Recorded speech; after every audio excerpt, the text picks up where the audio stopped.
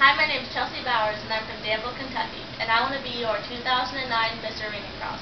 One of the things that makes me the most unique from the rest of the candidates is I've spent the past seven years as my brother's practice and race mechanic and watched some of the current pros cross over from amateur ranks to the professional level, from the stands, pit area, and starting line.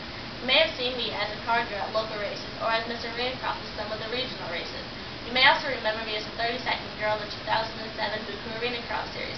When I'm not at the track, I'm preparing and training for figure competitions and fitness modeling.